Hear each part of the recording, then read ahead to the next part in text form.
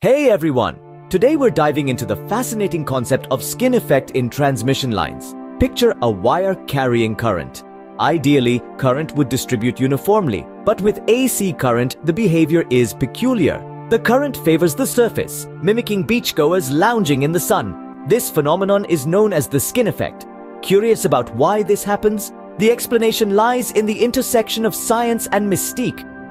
Just click the link below and uncover the skin effect, a splendid example of where science encounters wonder. Thanks for participating in this electrifying journey with us. See you next time.